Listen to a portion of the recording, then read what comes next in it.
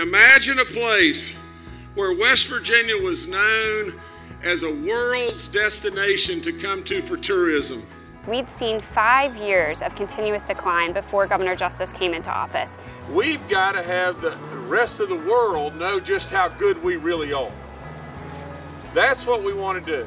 Governor Justice is a true visionary when it comes to tourism. He knows what it takes to grow the industry. He has ideas on what we need to do to change the advertising, to change the investment.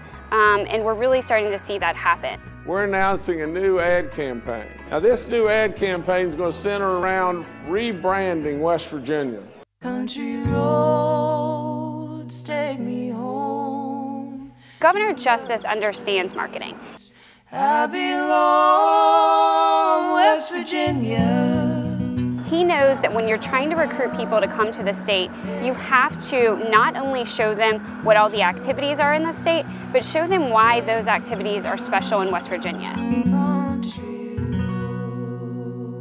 For every dollar that flows into tourism, it is unbelievable the multiplier effect that comes right back to us. Traveler spending is going up, occupancy numbers are going up. Um, it's just the beginning, but I think we're really on the verge of something extraordinary. We're really excited to see how those numbers continue to grow over the next year.